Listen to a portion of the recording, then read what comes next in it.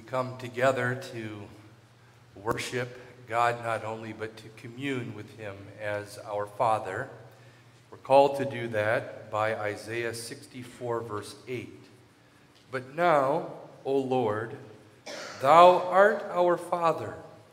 We are the clay, and Thou our potter, and we all are the work of Thy hand. Let's ask for the blessing of our Father upon our worship in a moment of silent prayer.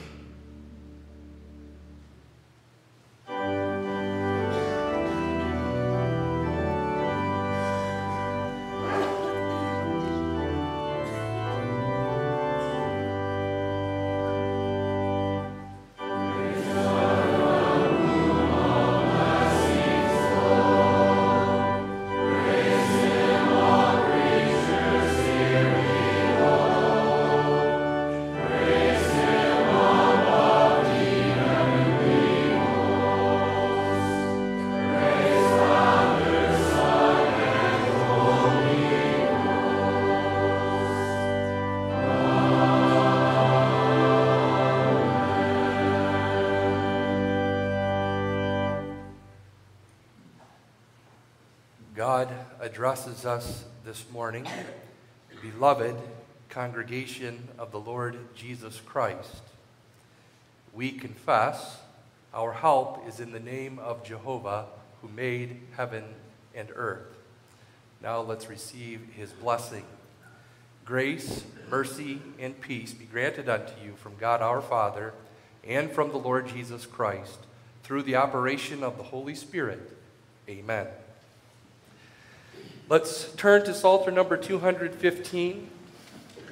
We sing not only of a duty, but also of a privilege for believing parents to instruct and teach their children about the Lord and his ways. Let's sing the first four stanzas, 215, 1 through 4.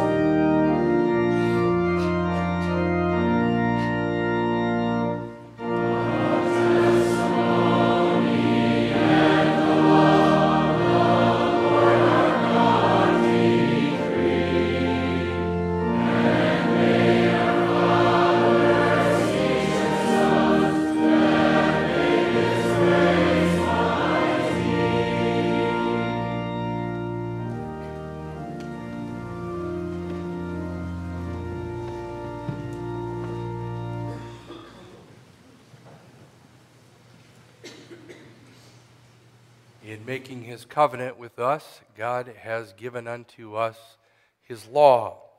We hear that now from Exodus chapter 20. And God spake all these words, saying, I am the Lord thy God, which have brought thee out of the land of Egypt, out of the house of bondage. Thou shalt have no other gods before me. Thou shalt not make unto thee any graven image, or any likeness of anything that is in heaven above, or that is in the earth beneath, or that is in the water under the earth. Thou shalt not bow down thyself to them, nor serve them, for I, the Lord thy God, am a jealous God, visiting the iniquity of the fathers upon the children unto the third and fourth generation of them that hate me, and showing mercy unto thousands of them that love me and keep my commandments. Thou shalt not take the name of the Lord thy God in vain. For the Lord will not hold him guiltless that taketh his name in vain. Remember the Sabbath day to keep it holy. Six days shalt thou labor and do all thy work, but the seventh day is the Sabbath of the Lord thy God. In it thou shalt not do any work, thou, nor thy son, nor thy daughter, thy manservant, nor thy maidservant, nor thy cattle, nor thy stranger that is within thy gates.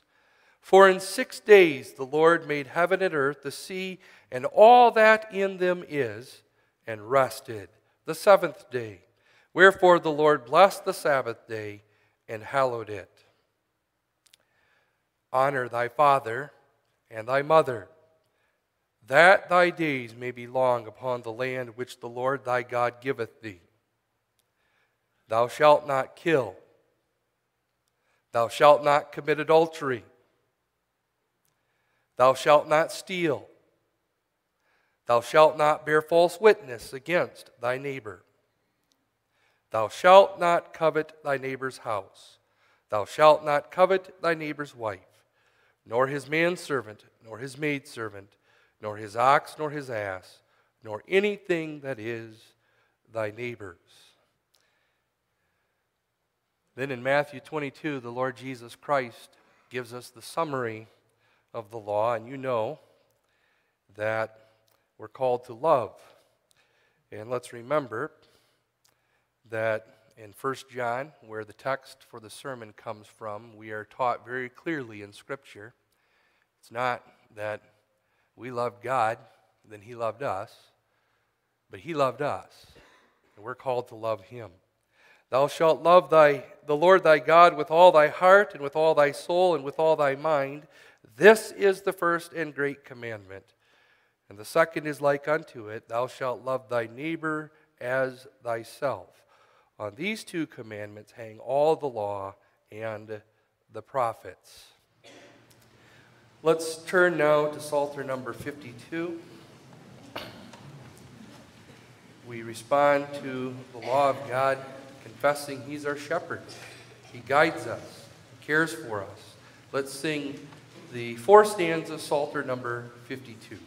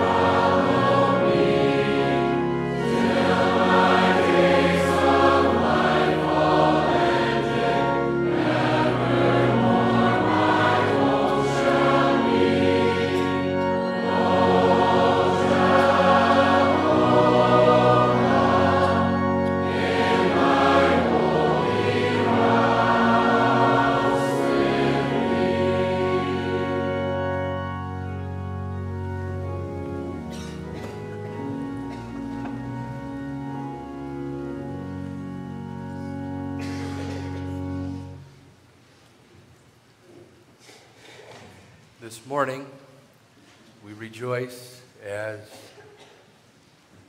parents in our congregation exercise the right that they have to present their daughter for baptism. I'm going to read then the form for the administration of baptism, found on page 86 in the back of the Psalter. What a beautiful thing that parents want to, you understand, present their daughter for baptism, meaning they want to present her to the Lord. Beloved in the Lord Jesus Christ, the principal parts of the doctrine of holy baptism are these three. First, that we with our children are conceived and born in sin, and therefore are children of wrath, insomuch that we cannot enter into the kingdom of God except we are born again. This, the dipping in or sprinkling with water, teaches us, whereby the impurity of our souls is signified, and we admonished to loathe and humble ourselves before God, and seek for our purification and salvation without ourselves. Secondly, holy baptism witnesseth and sealeth unto us the washing away of our sins through Jesus Christ. Therefore, we are baptized in the name of the Father, and of the Son, and of the Holy Spirit. For when we are baptized in the name of the Father, God the Father witnesseth and sealeth unto us that he doth make an eternal covenant of grace with us, and adopts us for his children and heirs, and therefore will provide us with every good thing, and avert all evil, or turn it to our profit. And when we are baptized in the name of the Son, the Son sealeth unto us that he doth wash us in his blood from all our sins, incorporating us into the fellowship of his death and resurrection, so that we are freed from all our sins and accounted righteous before God. In like manner, when we are baptized in the name of the Holy Spirit, the Holy Spirit assures us by this holy sacrament that he will dwell in us and sanctify us to be members of Christ, applying unto us that which we have in Christ, namely the washing away of our sins and the daily renewing of our lives, till we shall finally be presented without spot or wrinkle among the assembly of the elect in life eternal. And I will interject there. That's basically saying what we have in the text this morning till we become fully like Jesus.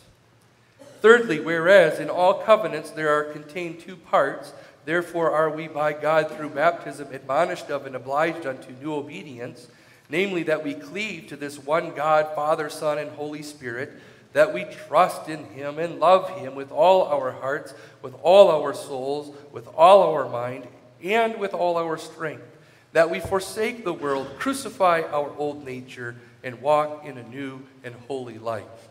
And if we sometimes through weakness fall into sin, we must not therefore despair of God's mercy, nor continue in sin since baptism is a seal and undoubted testimony that we have an eternal covenant of grace with God. And although our young children, including Hallie, do not understand these things, we may not therefore exclude them from baptism. For as they are without their knowledge partakers of the condemnation in Adam, so are they again received unto grace in Christ, including Hallie. As God speaketh unto Abraham, the father of all the faithful, and therefore unto us and our children, Genesis 17, verse 7, saying, I will establish my covenant between me and thee, and thy seed after thee in their generations for an everlasting covenant, to be a God unto thee and to thy seed after thee. This also the Apostle Peter testifieth with these words in Acts 2, verse 39 For the promise is unto you and to your children and to all that are far off, even as many as the Lord our God shall call. Therefore, God formerly commanded them to be circumcised, which was a seal of the covenant and of the righteousness of faith. And therefore, Christ also embraced them, laid his hands upon them, and blessed them. Mark 10. Since then, baptism is come in the place of circumcision. Therefore, infants are to be baptized as heirs of the kingdom of God and of his covenant, and parents are in duty bound further to instruct their children herein when they shall arrive to years of discretion. That therefore this holy ordinance of God may be administered to his glory, to our comfort, and to the edification of his church, let's call upon his holy name in prayer. Let's pray together. O Almighty God and eternal God, Thou who hast, according to thy severe judgment, punished the unbelieving and unrepentant world with the flood, and hast, according to thy great mercy, saved and protected believing Noah and his family. Thou who hast drowned the obstinate Pharaoh and his host in the Red Sea, and has led thy people Israel through the midst of the sea upon dry ground, by which baptism was signified, we beseech thee that thou wilt be pleased of thine infinite mercy graciously to look upon this child and incorporate her by thy Holy Spirit into thy Son, Jesus Christ, that she may be buried with him into his death and be raised with him in newness of life, and that she may daily follow him, joyfully bearing her cross, and cleave unto him in true faith, firm hope, and ardent love, that she may, with a comfortable sense of thy favor, leave this life, which is nothing but a continual death, and at the last day may appear without terror before the judgment seat of Christ thy Son, through Jesus Christ our Lord, who with thee and the Holy Spirit, one only God, lives and reigns forever. Amen. Tyler and Brianna, you are asked to rise now to give answer to the three questions.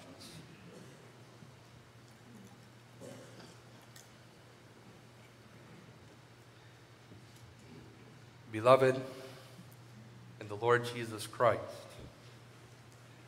that's you. You have heard that baptism is an ordinance of God to seal unto us and to our seed his covenant Therefore, it must be used for that end and not out of custom or superstition, that it may then be manifest that you are thus minded. You are to answer sincerely to these questions. First, whether you acknowledge that although our children are conceived and born in sin, and therefore are subject to all miseries, yea, to condemnation itself, yet that they are sanctified in Christ and therefore, as members of his church, ought to be baptized.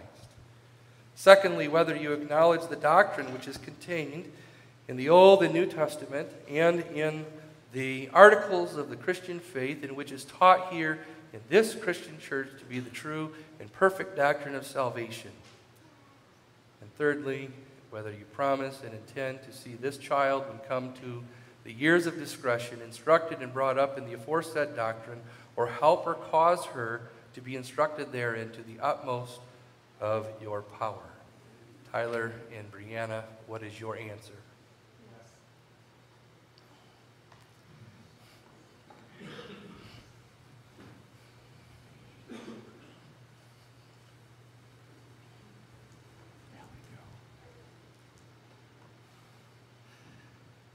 Hallie Joe, I baptize thee in the name of the Father and of the Son, and of the Holy Spirit. Amen.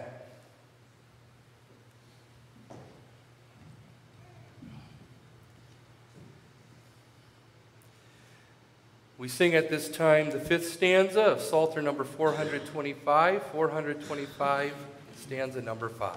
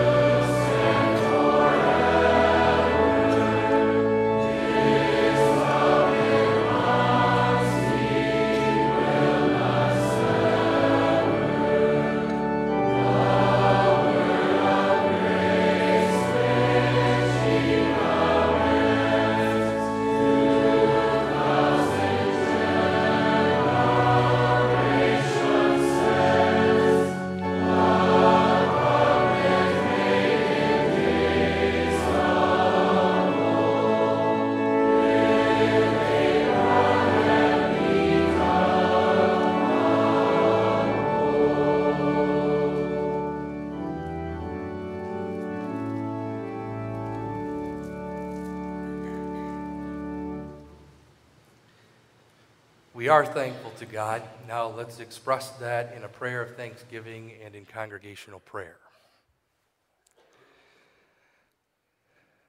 Almighty God and merciful Father, we thank and praise Thee that Thou hast forgiven us and our children all our sins through the blood of Thy beloved Son, Jesus Christ, and received us through Thy Holy Spirit as members of thine only begotten Son, and adopted us to be thy children, and sealed and confirmed the same unto us by holy baptism. We beseech thee through the same Son of thy love, that thou wilt be pleased always to govern these baptized children by thy Holy Spirit, that they may be piously and religiously educated, increase and grow up in the Lord Jesus Christ that they then may acknowledge thy fatherly goodness and mercy, which thou hast shown to them and us, and live in all righteousness under our only teacher, king, and high priest, Jesus Christ, and manfully fight against and overcome sin, the devil, and his whole dominion, to the end that they may eternally praise and magnify thee and thy Son, Jesus Christ, together with the Holy Spirit, the one only true God. Lord, we delight in Thee. We delight in all of Thy works.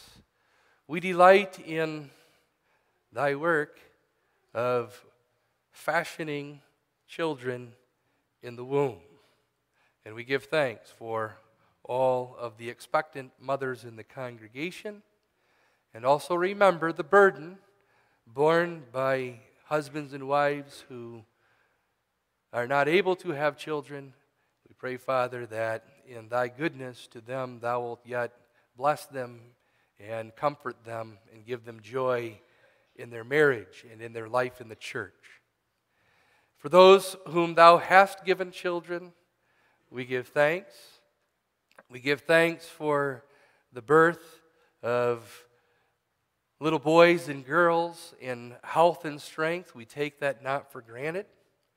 We know that some are born with special needs, that this too is according to thy plan, for thy glory, for the good of the church. And we do rejoice in the place that those with special needs have within the fellowship of the church.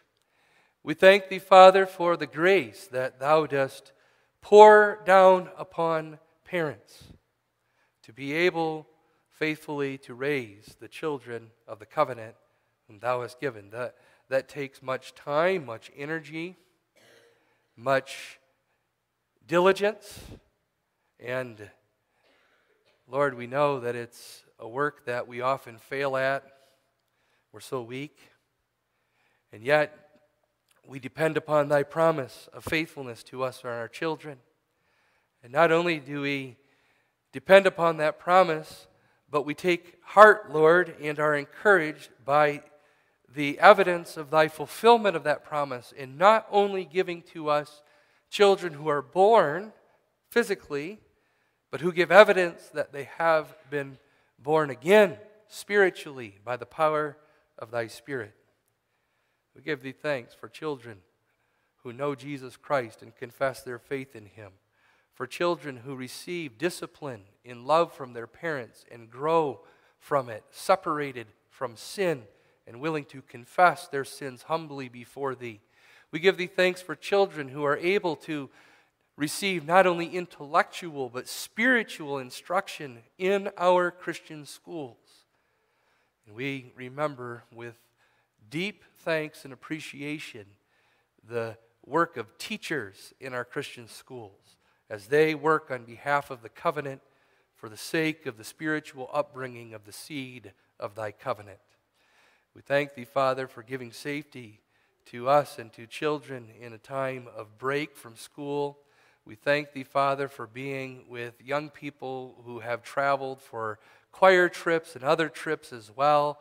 We pray, Father, that thou wilt continue to use the various means and activities found in our schools for the spiritual well being of the young children and the young people in the covenant.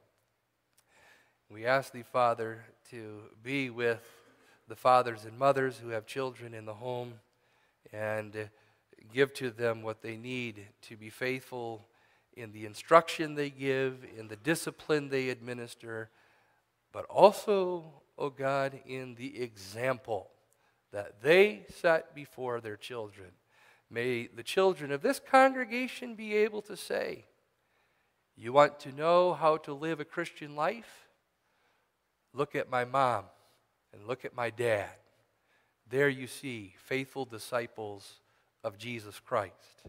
We pray, Father, that thou wilt continue to uphold us as a congregation in godliness and faithfulness to the truth of thy word.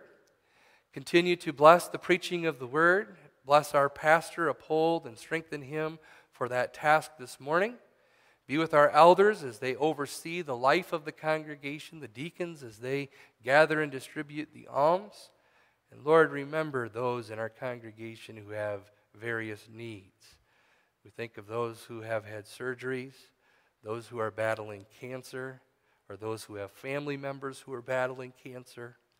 We think of our sister Marge Offringa, who is Marge DeHaan, rather, who is in a place receiving physical therapy. Give unto her healing mercies and strength that soon she may be able to return to her home in good health and strength according to thy will. Lord, how we thank thee that in our trials at home, in the church, with our health, uh, with our minds sometimes, Lord, the mental anxieties and worries and struggles we face in this life are very difficult. We thank Thee that in the midst of all of them, Thou art a faithful God and shepherd. And many needs that we don't know. We know that Thou art aware of all of them, not only with perfect knowledge what our weaknesses and troubles are, but with the power to help us, to preserve us, to bless us. Lord, be with us in all of our worship this morning. Forgive our sins, we pray in Jesus' name. Amen.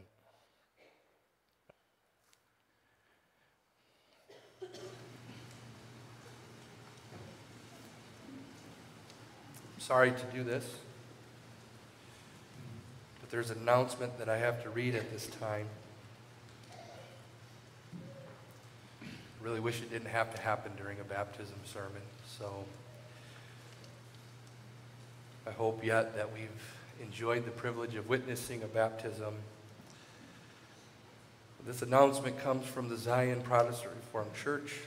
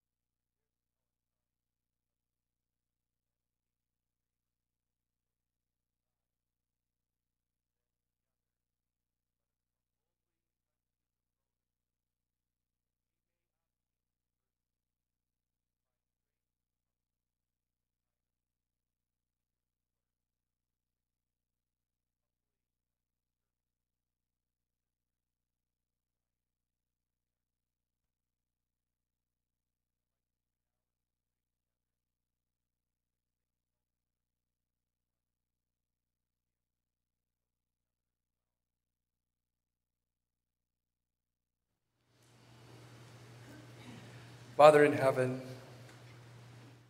to thee we turn in grief and sorrow and cry, cry, Lord, help us. We cry, O Lord, to thee in anguish, first of all, because thy name has been dishonored. Christ has been dishonored, and the church deeply wounded by sin. We're sorry for that. Lord, we come to Thee because we know that Thou art a God of mercy, forgiveness. We know that Thou didst drown the Egyptians in the Red Sea. Lord, we pray that Thou wilt drown our sins in the blood of Jesus Christ. Show mercy unto Matt Cordis. Lord, we are thankful to hear of his confession. We pray that thou wilt give him grace to know that the sin is taken away, but also to deal now with consequences that do not quickly go away. Be with Sarah, betrayed, hurt. Lord, give her the grace to know what to do, to know what to think, to know how to respond, and to find her comfort indeed in the faithful bridegroom and husband, Jesus Christ. Lord, we pray for the Zion congregation. We, we love that congregation. Hurt, betrayed,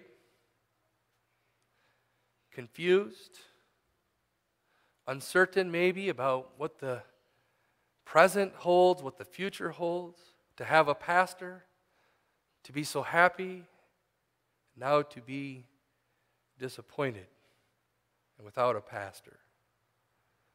Be with that congregation today in their worship.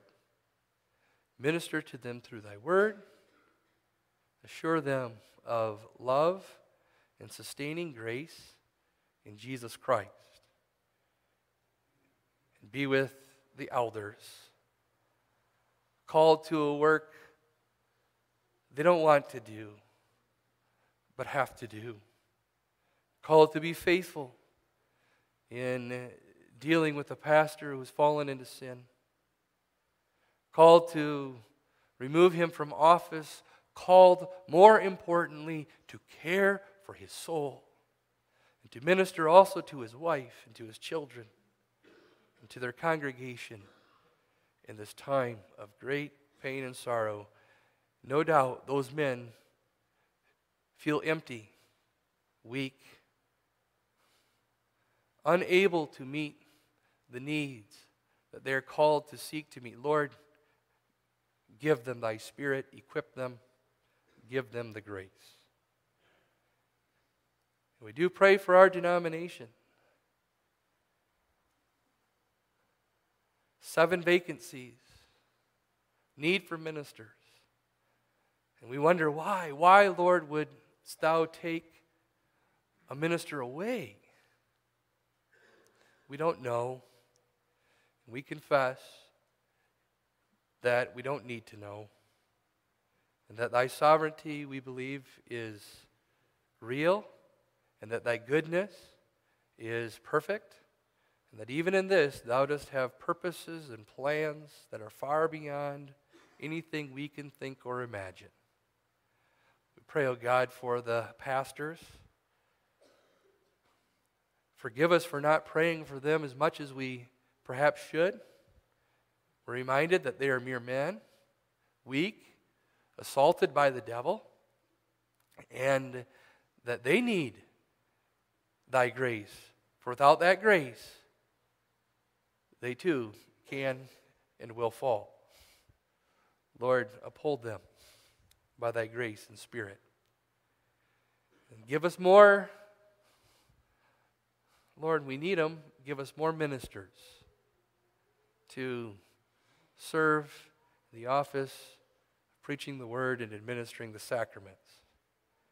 And though this is a time of trouble, a time of dismay, a time when we may worry and be anxious about the future of our denomination, Lord, assure us that the church is in thy hand and in the hand of Christ, and that thou wilt glorify her.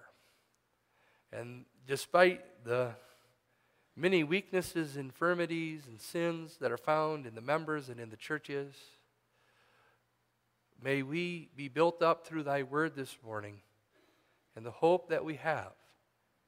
He's coming, and he, Jesus Christ, will appear. And when he does, he will take his imperfect bride, purify her, and make her the perfect image of him. Lord, we long for that day when we will, body and soul, be like him. Assure us of that hope. And hear us, we pray, for Jesus' sake. Amen. 221.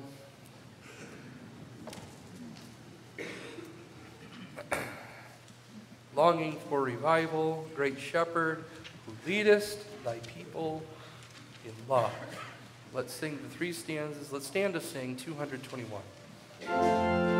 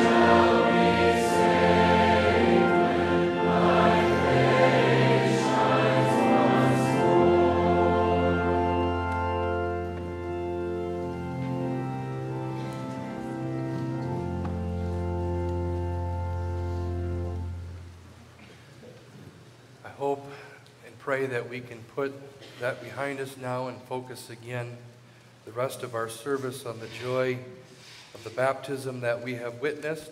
We worship God now in the giving of our offerings for the general fund and the benevolent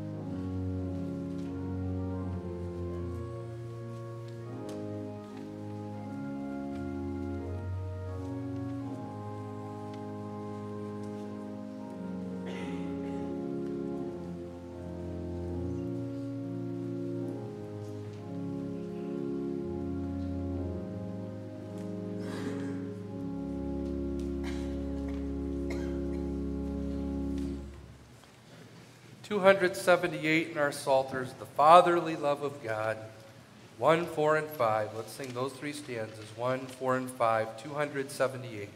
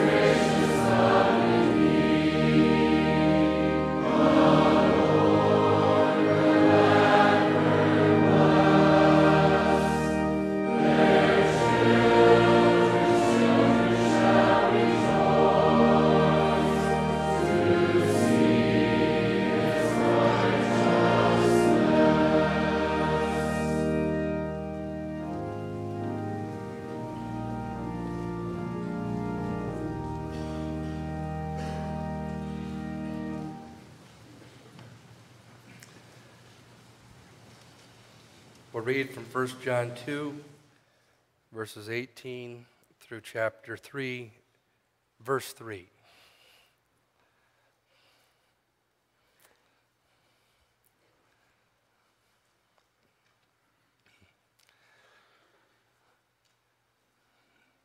If I'm taking too many liberties during the worship service, I'll leave it to the consistory to tell me. They haven't done that yet, so I'll take another liberty here. You think of why God gives us infants. All I have to do is look at Hallie and smile. And it reminds me of an experience I had when, in a time of pain and sorrow, God was still able to bring some joy through an infant. and that was when the, the night that my brother was killed in a car accident, it was midnight. I was at my aunt and uncle's house. They woke me up to tell me that my brother was killed in a car accident. And um, we were waiting to meet with my parents and the rest of the family. And of course, it was a very sad time. But I always had a memory of the fact that I had a cousin who was a newborn little baby girl. And there was some, in that time of sorrow, some joy. And anyway, thought I would relate that, that that's one of the many, there are many blessings that God gives us in giving us children, but just to be able to see an infant in a time of sorrow, pain, yet God can bring joy to us too. So there's joy even in the midst of our sorrow. 1 John 2, verse 18. Little children, it is the last time. And as ye have heard that Antichrist shall come, even now there are many Antichrists, whereby we know that it is the last time. They went out from us, but they were not of us. For if they had been of us, they would no doubt have continued with us. But they went out, that they might be made manifest that they were not all of us. But ye have an unction from the Holy One, and ye know all things. I have not written unto you because ye know not the truth, but because ye know it, and that no lie is of the truth. Who is a liar but he that denieth that Jesus is the Christ? He is Antichrist that denieth the Father and the Son. Whosoever denieth the Son, the same hath not the Father, but he that acknowledgeth the Son hath the Father also. Let that therefore abide you in you which ye have heard from the beginning. If that which ye have heard from the beginning shall remain in you, ye also shall continue in the Son and in the Father. And this is the promise that he hath promised us, even eternal life. These things have I written unto you concerning them that seduce you. But the anointing which ye have received of him abideth in you, and ye need not that any man teach you. But as the same anointing teacheth you of all things, and is truth, and is no lie, and even as it hath taught you, ye shall abide in him.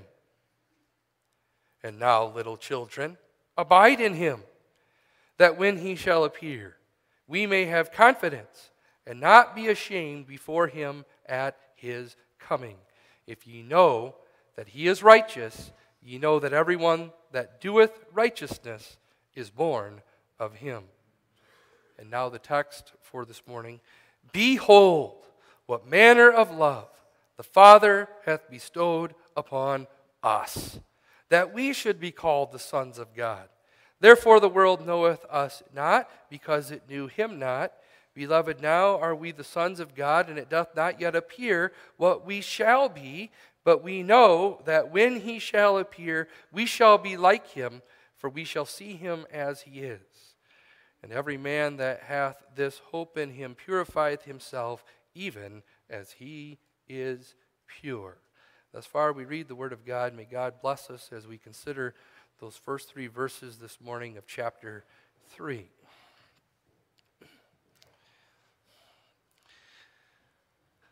When we hear of how the Apostle John, by inspiration of the Spirit, calls us children, little children, and refers to God as Father, we are reminded of the fact that our God is a family God. He's a father, and he has a family. And in that family, we are his children. The triune God has shown us love in this a love that we are commanded to behold, stop, and think about the greatness of this love that God is our Father and we are called His children. What a gift, what a treasure that helps us keep a proper perspective on our earthly families. We tend to have some family pride, and our earthly families are important, created by God. God has given us the gift to enjoy of husband and wife relationships, parent child relationships, brother and sister relationships. And these families can be a source of not just happiness, but pride. But we must remember, as much as we think highly of our earthly families, they are but pictures of the real family, the spiritual family of God that we are privileged to belong to with our children. The text is reminding you, commanding you to put this before Hallie, to see how God loves her, loves us so greatly as His children, to put us in His family, so that you are to say to her, Behold, this is your identity. Yes, you're the daughter of Tyler and Brianna, but ultimately, the daughter of God. And not only is this your privilege and your identity, but now let this be your life. So let's consider this this morning briefly under the theme Behold the Father's love. Behold the Father's love. First of all, in adopting us, stop and think about that. He calls us his children. Secondly, in assuring us, we know this that we are his children, he's our father. And thirdly, in transforming us. And we'll see how much time we have for that third point this morning. Behold, you understand the meaning of that word in the scriptures? Stop and look at this and be amazed what manner of love the Father has bestowed upon you. And John speaks of God as the Father. The Father, not just a Father. There's no other Father like this Father. This is the only eternal Father. Even Adam in the beginning had to become a father. He wasn't created a father, he was given a wife, but he didn't become a father until Cain was born. Our God doesn't become a father, He is the Father.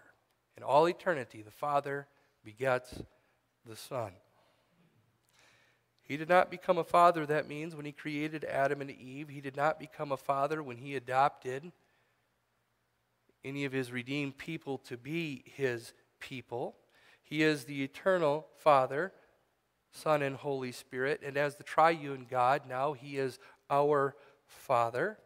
And to say that, beloved, is to say, as much as any son or daughter might take pride in their earthly father, do you understand that's nothing compared to this? This is the greatest privilege that any human being could have to be able to say, The Father. That is the only, the one and only Father who is eternal, the one and only Father who is God, the one and only Father who has all knowledge and wisdom and all power and might, the God of heaven and earth. That Father is our Father. This is the greatest question, then, really, in anyone's life. Does this Father love me? Don't think about the world. Do they love me? We're going to see they won't. And don't think either about other human beings. Does he love me? Does she love me? This morning, think about God. Is he my Father? And John wants us to think about the love of God in this that he put into action. This is wonderful. This is beautiful. John was the disciple that Jesus loved. We think of him in connection with love. And now he's going to speak to us about something deep and mysterious love. And it's very easy, isn't it, when speaking about the subject of love to become a bit philosophical, maybe a bit abstract, and maybe even to feel like this is not very concrete, not very practical. What is this thing, love? But then John comes to us and he doesn't speak to us as a philosopher. He doesn't speak in highfalutin terms about love. He comes and speaks very practically, very concretely. He says, You can understand the manner, the, the action, the, the love of God in action, and the greatness of that love when you think of this. That he calls you the children of God. And I want to be clear about what we have here in verse 3 when the text says that we should be called the sons of God. That's not the Greek word, sons, but the Greek word is the word children. And even if it was sons, we understand this would include the, the, the girls, the females. But that's very clearly what John had in mind when he used the word for children, so that really it's that we should be called the sons and daughters of God, if you want to put it that way, or simply the children of God.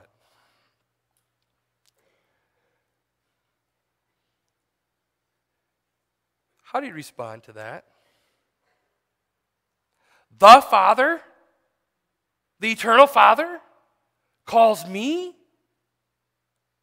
my child? Can you sense why John would put this behold on this? Stop and see this for the great act of love that it is. It speaks of God's love in action in rescue of us. Rescue from what, you ask? Well, you understand I wasn't God's son or daughter by nature. I was of the father of lies, the devil. What family do you belong to? Well, by nature, the family of Satan, of sin, of death, the world, here in the text. Even in one place in Scripture, called the child of wrath. I belong to that family that is under the wrath of God, deserving of eternal condemnation and hell. And in his justice, we confess that, don't we? In his justice, this eternal Father, the Father who is holy and righteous, could say to me, Not my son, and you stay under wrath. You never obeyed me. You never showed any interest in me. You never loved me.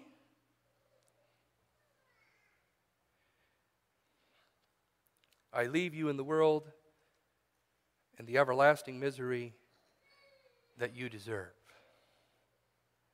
Behold, what manner of love that God says, I rescue you from that.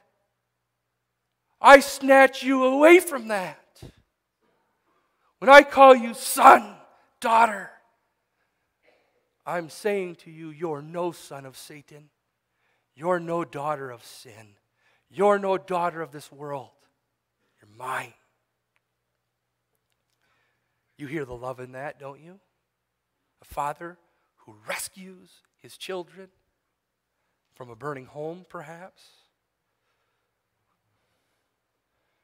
But here's the Father who rescues you from guilt and sin and death.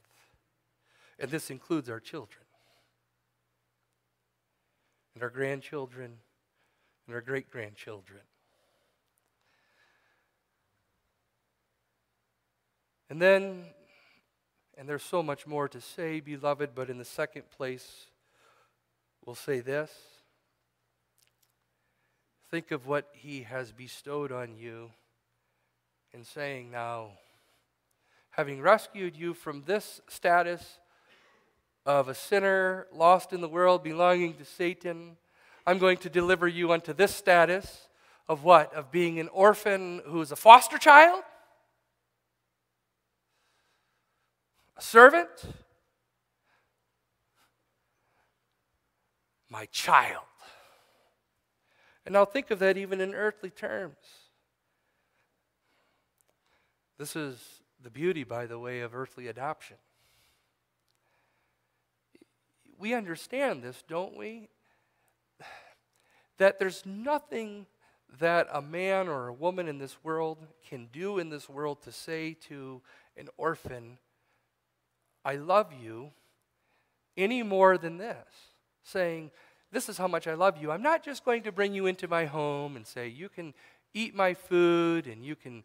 Uh, I'll take you shopping and I'll buy you clothing and I'll pay for your education and things like that.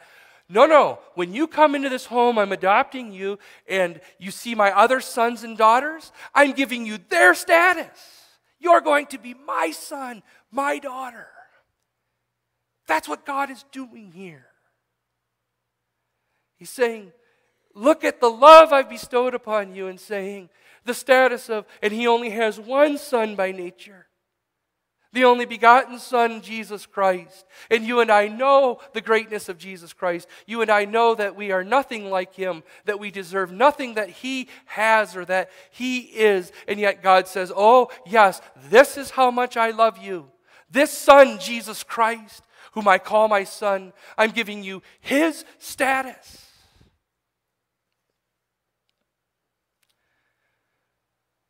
And think of what that means the rights and the privileges you have. When God says, I give you the right to be my son, my daughter, He's saying, I give you the right to the blood of Christ. Whenever you sin, you may come to me and ask me forgiveness in His name. And when you have a child, you may present that child for baptism to receive the sign of water as a picture that you and your child are washed by the blood of Christ from all your sins. When God says, You're my son, my daughter, do you see? I've already kind of covered this. He gives you the right to prayer. You may talk to God. That's no small privilege. This is yours. All the truth of the Bible, God's Word, every command, every admonition, but also every promise. This isn't for the world. No, God has given His testimony, His Word, to Israel in the Old Testament and to His church in the New Testament, to His sons and His daughters. This is all yours.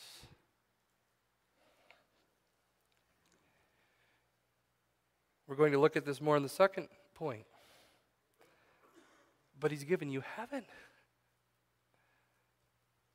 This isn't a gift for the outcasts, the foreigners, the strangers to God. But when he calls you son, he says, I call you daughter. He's saying the inheritance that is Christ, which includes heaven, is yours. Oh, and the world too. The meek shall inherit the earth. Now you live here, and the people of the world make you feel like you don't belong, like you're a stranger. The Bible says, well, here's the truth. Those people who are not the sons and daughters of God, they're the imposters, they're the intruders. God's going to drive them out. He's going to remake this world the earth and give it to sons and daughters. And so I say again to be a son of God means the Father not only rescued you from death, but he gives you the status of one of his children. And then, thirdly, in this first point, behold the love of God in all of this through Jesus Christ his son. Here in chapter 3, John is telling us about the love of God and that we weren't his sons and daughters and he has adopted us. How? Well, John chapter 4, 1 John 4, verses 9 and 10. In this was manifested the love of God toward us because that God sent his only begotten Son into the world that we might live through him. Herein is love, not that we loved God, but that He loved us and sent His Son to be the propitiation for our sins. I'm not going to dwell on that. It's enough just to say it, isn't it? Behold, how great the love of God in action for you that he withheld not his only begotten Son, but sent him that he would bear the wrath that you deserve and deliver you from that, and then adopt you as his son in or daughter in Jesus Christ. We're not children of wrath, we're children of God through Jesus Christ. Behold God's love.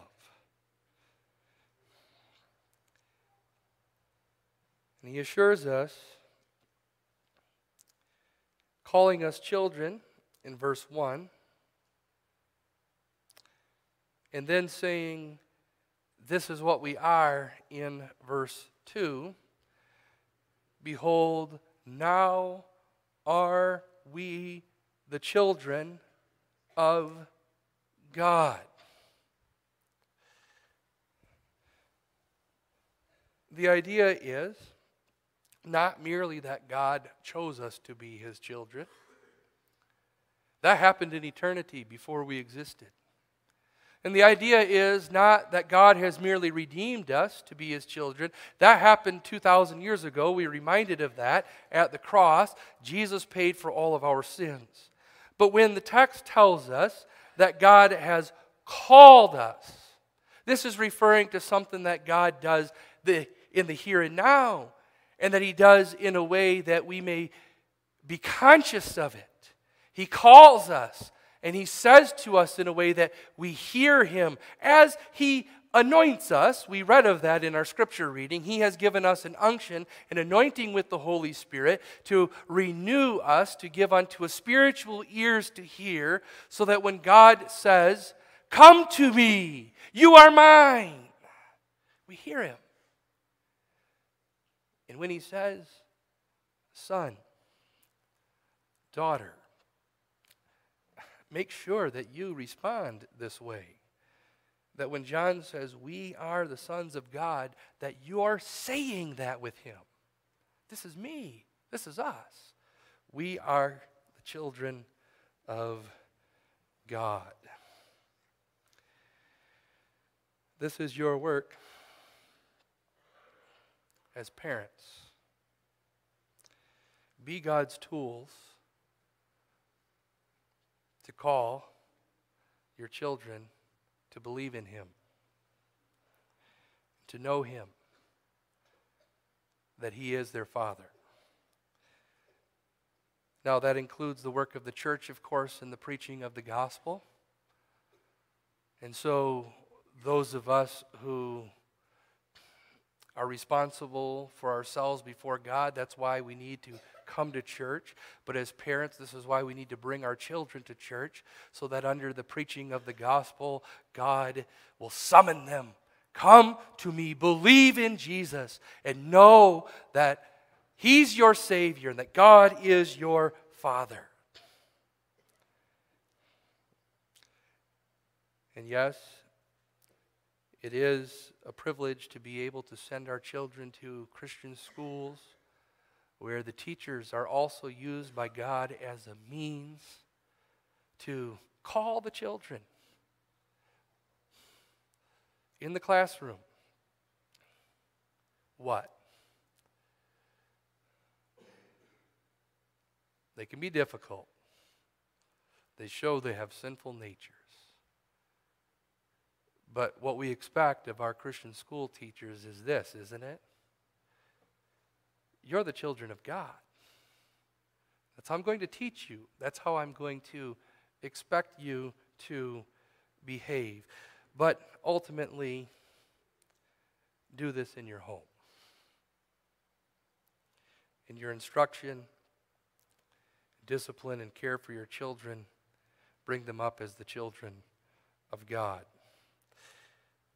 Now, the assurance has to do with the future. And, well, maybe someday verse 2 will be the subject of a whole sermon, but it will have to be brief here. But John tells us it doth not yet appear what we shall be. That's a grief to us. We still have sin. That's not what we shall be, though we won't have sin. We still have mortal bodies. That's not what we shall be. No, we know. Hear the assurance? That when he shall appear, now you have to go back to verse 28 of chapter 2 when he shall appear. That's talking to us about the second coming of Jesus. when he comes, when he appears, and you understand that word appears brings with it the idea we're going to see him. We will see Jesus when he comes. And what will we see? Well, he never had any sin, of course. And he still has no sin. But we're going to see the Son of God in his glorified, resurrected, heavenly body. And then, when he shall appear, we shall be like him.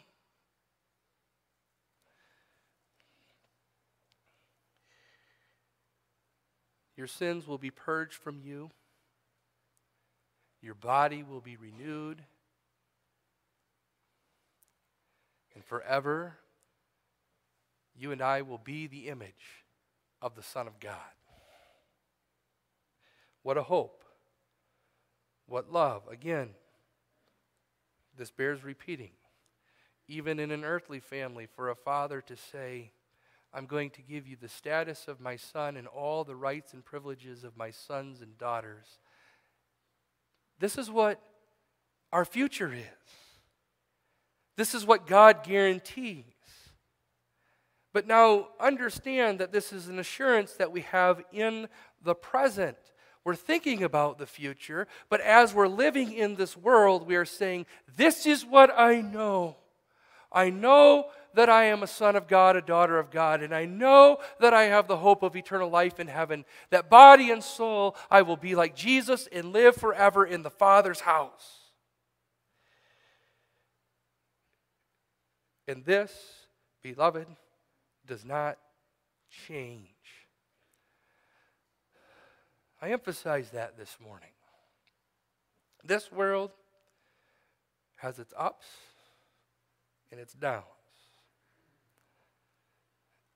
And I wonder how many of you this morning feel like you're down. When you think of the church, you think of your family, you think of your health, you think of your sin and your guilt.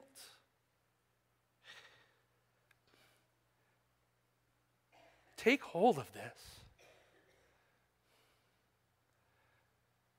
No matter what happens today, would matter, no matter what happens tomorrow, these two things won't change about me or you.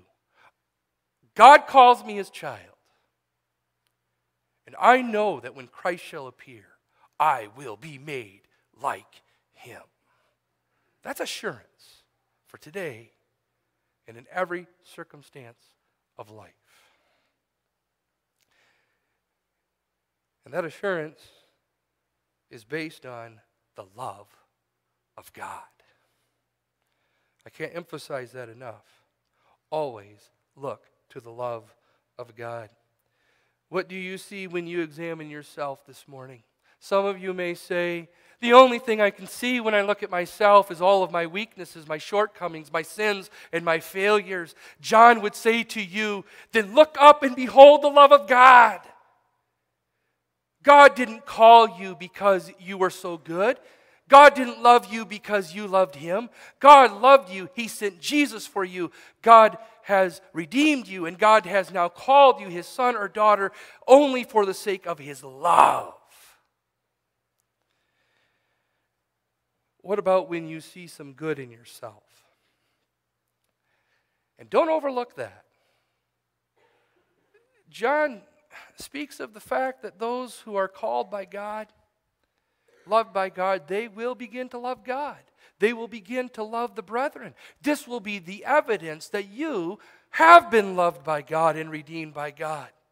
So don't overlook this. Don't think that this is unimportant. It doesn't matter. If all I see in my life is sin, I don't see any love for God or any love for the brethren or any good works in my life. No, no, John says, if you're born of God, you will do righteousness.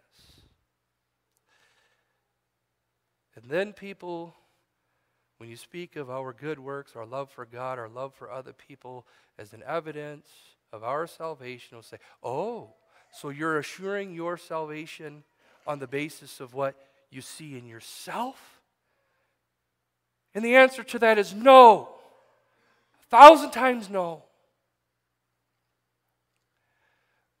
I'm still only assured on the basis of the love of God. And how does that work? You know, don't you? When you say, in whatever good work you do, I've loved God. Now, I'm never going to claim that my love for God is a great love for God. It's always weak, tainted with sin. But when you say, I have loved God or I have loved my neighbor,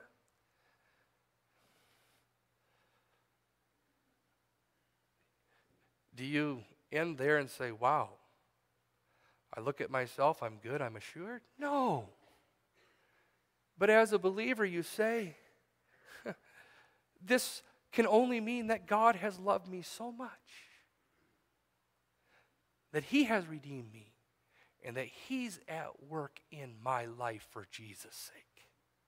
So that whether I look at myself and see all my weaknesses and my failures, or whether I look at myself and I see some evidence of the new life of God in me, I say to myself, Behold the love of God. That's the only reason I'm saved. And because that love is eternal and because that love never fails, I'm sure and beloved, if you find yourself struggling with assurance, there may be many reasons for that. But this morning I point out only one probable reason, and that is that you're looking at yourself and focusing on yourself and not looking at the love of God in Jesus Christ. He loves us. He adopts us. He assures us. He transforms us. Now, where's the love in that? Can you imagine living in a family, beloved, where everyone says we're a family, but we hate each other? God does not bring us into that kind of a family. We see that kind of a family everywhere in the world. Sometimes, too often, our families can be like that spouses against each other, parents and children against each other, brothers and sisters against each other. And God is not that kind of a father. He's the kind of a father who says, I'm a God of love. I love you. And now I not only call you to love each other, but behold the manner of the love of God that He gives us the power to transform us that we may love him and love each other and live in peace and unity and blessedness. This comes out two ways briefly in the text. First of all, we are told at the end of verse 1 Therefore the world knoweth us not because it knew him not. Now, that's speaking of the fact that the world is going to hate us. The world's going to look at us as strange. The world is going to say, You're different. And we as Christians can look at that from two points of view. One is that causes suffering and pain. That's persecution. That's hard. That makes our life difficult. But the second perspective is wait a minute. Every time the world expresses hatred for me, I should view that as God saying to me, Ah, I love you. I've loved you enough to take you out of the world and to make you different from the world. So let me leave it at that. Teach your children to be different from the world and teach them that when the world rejects them, shows it hates them, teach them to see that as that's God at work.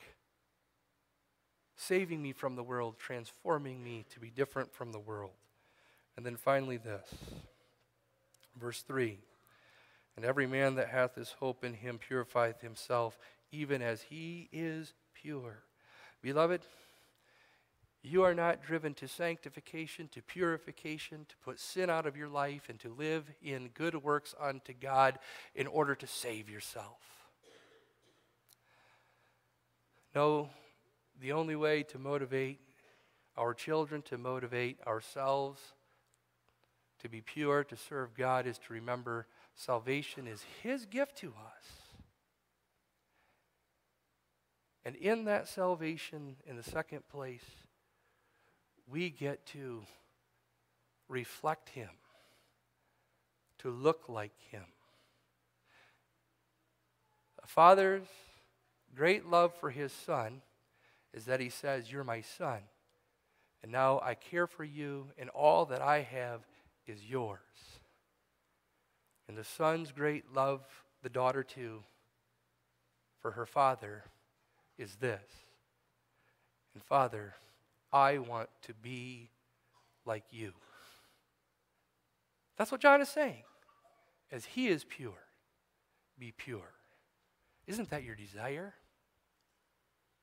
Let that be your desire. That God bless his word to our hearts and families. Amen. Father in heaven, send thy word forth with us to comfort us and assure us and to transform us and our children. We pray it for Jesus' sake. Amen.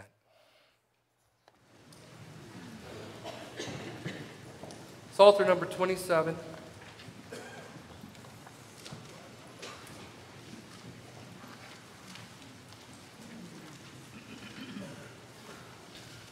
Let's sing the five stanzas. Psalter number 27, five stanzas.